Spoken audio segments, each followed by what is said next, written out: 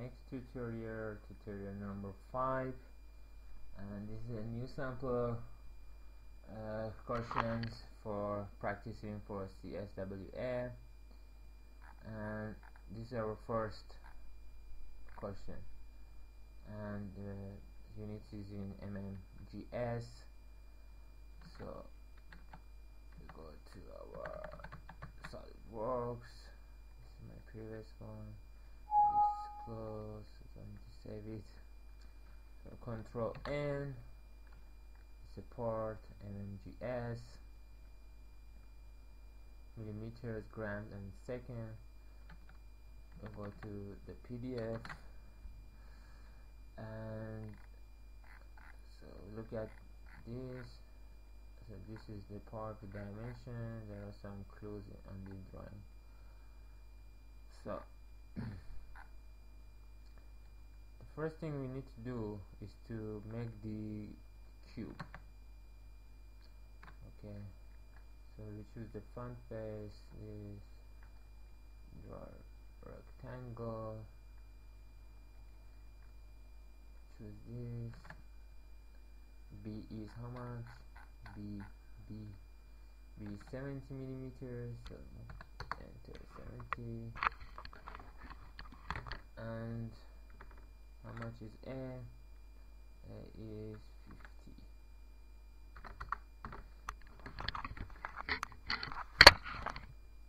some wires are coming my way sorry for that. So oh, oh, I'm sorry. Actually it was this dimension 67 so make this 67 enter alright 67 and now A A A A is how much forgot again. A is 50 okay press the shortcut key which is Q and press 50 okay enter another enter. Our cube is made now select this face press sketch. Go down again can see there is some kind of slots it's here.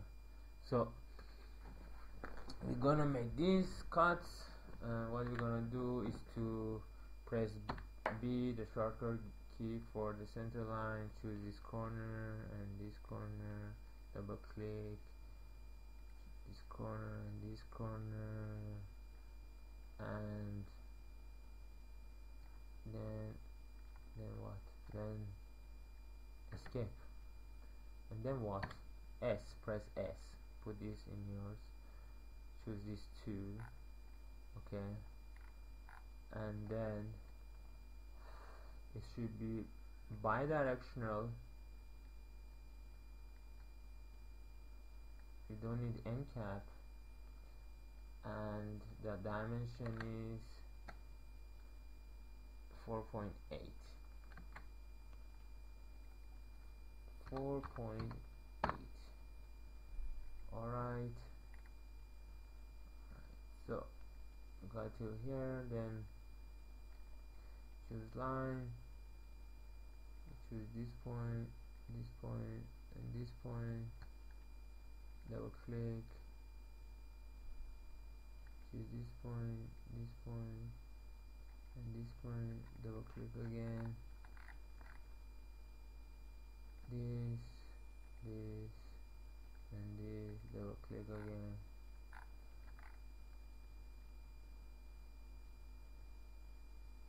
this this and this double click again then you need to trim remove this remove this this this this oh this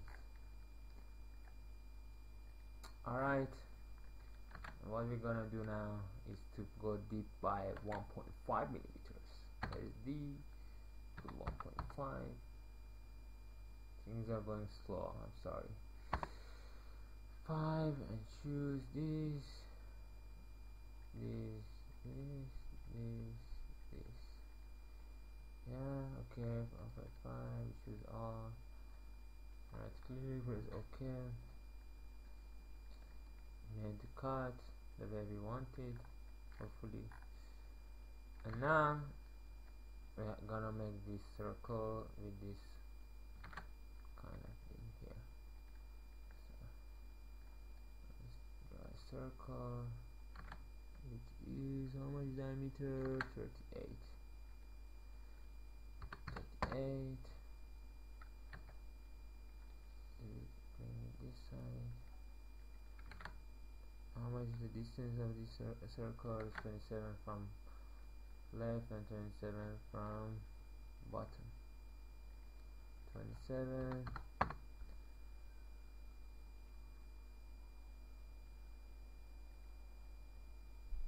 and 27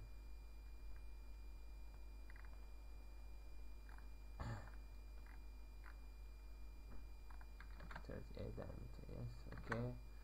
Now we're gonna make some line first make the lines.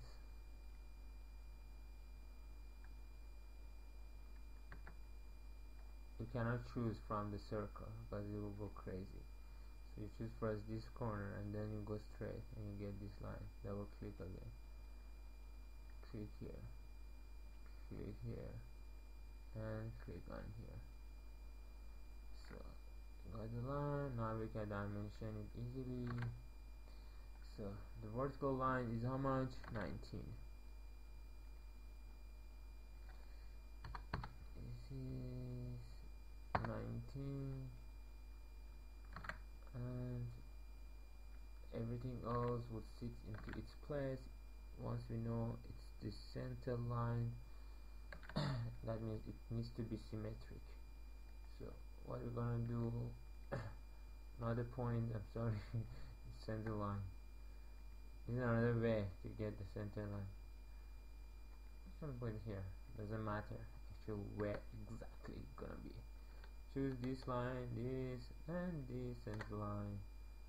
Three things should appear. Okay it appears symmetry symmetry. So it's all black that means it's fully defined. Fully defined is a good news but it's not the end of the story. We need to trim something that is this and this. It is still fully defined that's all good press D press right click button right through all right click again and right click again.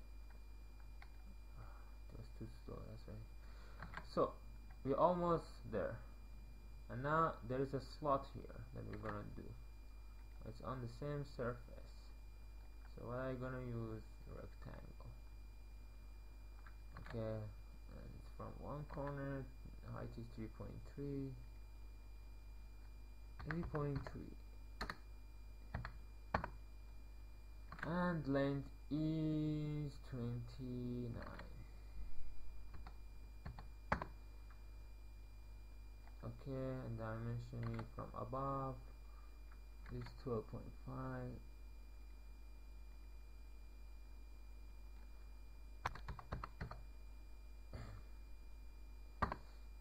why it's so slow as it's slow?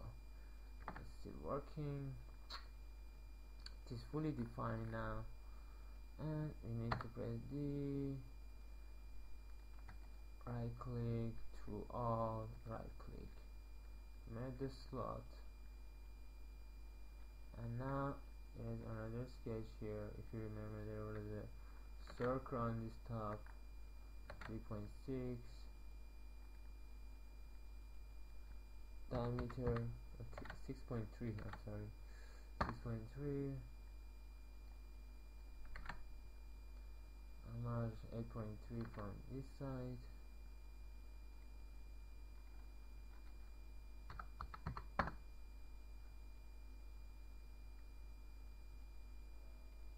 and how much from this side? To 3.5 3.5